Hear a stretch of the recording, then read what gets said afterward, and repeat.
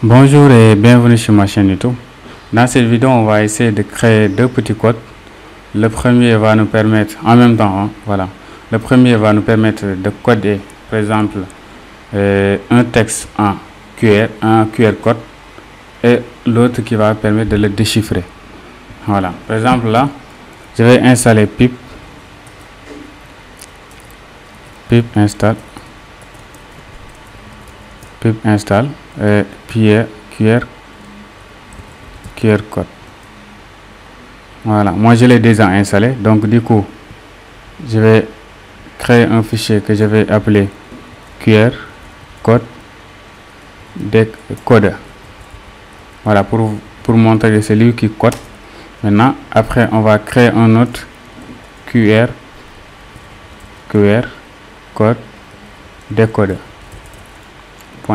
Voilà, c'est les deux qu'on va utiliser. Maintenant, pour le décodeur, on va utiliser pip install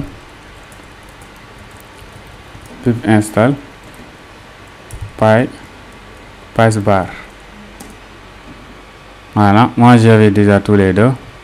Maintenant pour euh, celui qui va nous permettre de coder on va faire import euh, py qr code maintenant on va importer pn png bon png je crois que je ne l'avais pas.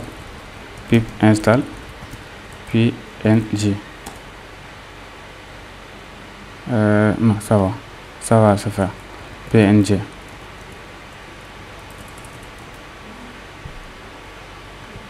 bon on n'a pas besoin parce que pile voilà on va importer pile. Parce que pile va gérer ce petit détail là maintenant on va dire par exemple le texte qu'on veut qu'on va coder.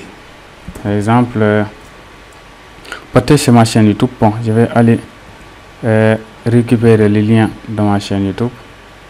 C'est directement youtube euh, .cdfsec voilà c'est celui là voilà. Maintenant là je le mets là euh, mais aussi on pouvait demander à ce que l'utilisateur saisit le texte hein. voilà on va même faire ça. On va même faire ça. Par exemple on va demander à l'utilisateur input input donner le lien.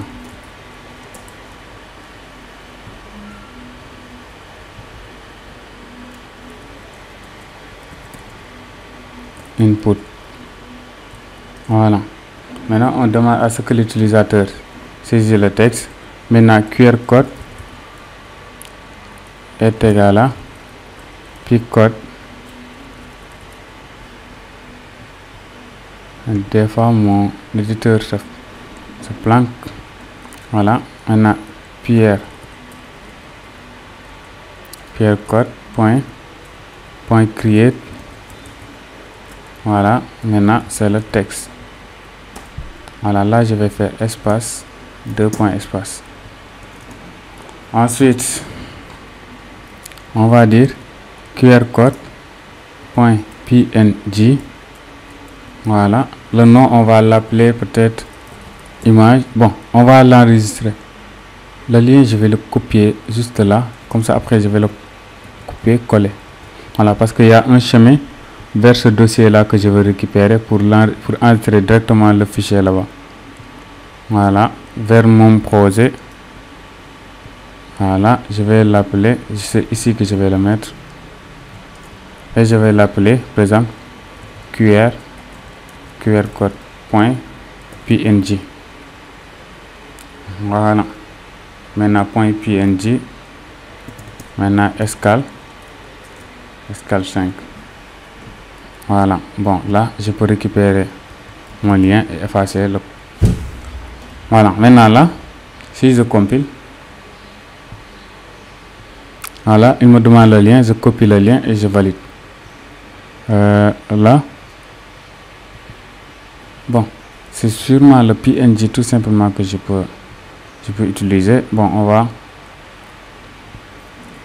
google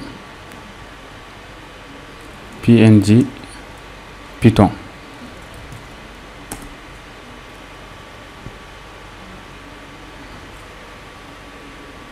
Voilà c'est cette commande là qui va nous permettre de l'installer.